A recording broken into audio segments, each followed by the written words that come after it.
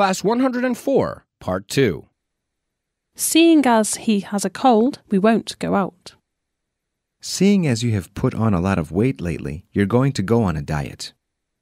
Seeing as I don't know this expression, we'll study it. Class 104, Part 3. Did you hear your neighbor's birds this morning? Yes, I heard my neighbor's birds this morning. Have you fought with me this morning? Yes, I fought with you this morning. Did you sleep on the bus this morning? Yes, I slept on the bus this morning.